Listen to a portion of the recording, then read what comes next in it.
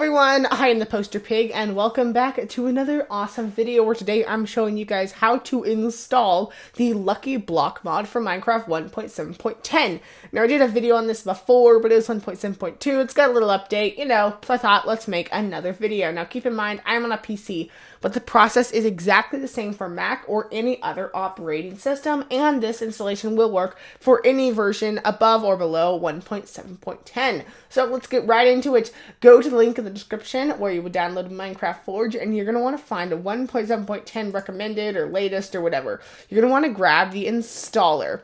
Just like that, you don't need any of the other ones installer just because it is way easier to install because it's an installer. It'll take you to an AdFly page where you're going to have to wait five seconds, skip the ad, and it will download and you press keep. Now go to the link in the description where you will be downloading the mod. So this page is very tricky. What you're going to want to do is don't click anywhere else. You have to click on Lucky Block 1.7.10, that exact little thing, and say keep the file. It's fine. You want to make sure not to click on anything else except that. Not even over here, just that part.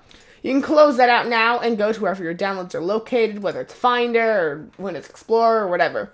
Right click on Forge and press Open With, and then make sure you click something, whatever this, similar to this Java TM platform, whatever. Don't use anything else.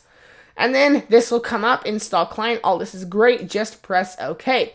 Now, right here, right here, if it says you need to run Minecraft 1.7.10 first, what you want to do is launch up your Minecraft launcher once it's loaded, you're going to want to select any profile, press edit profile, and change the use version to 1.7.10, save, and then relaunch that and it will install perfectly. Once you have that installed, you're going to want to edit another profile, the same one, doesn't really matter, and press Open Game DIR. In here, what you're going to want to do is go into the mods folder, and what you want to do is drag or copy the Lucky Block jar right into there. And guess what, guys? We're done. All you need to do is relaunch your Minecraft launchers to get it updated. And then we're done, guys. We we literally did it. That was like so fast. You're Just gonna want to go to your new Forge profile, and I will launch it up just to show you guys that it did work.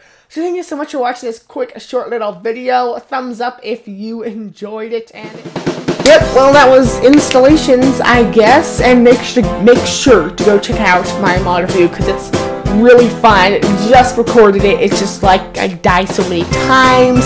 I try not to die, but I die anyway, and it's just basically really fun. So make sure you go check it out. Yep.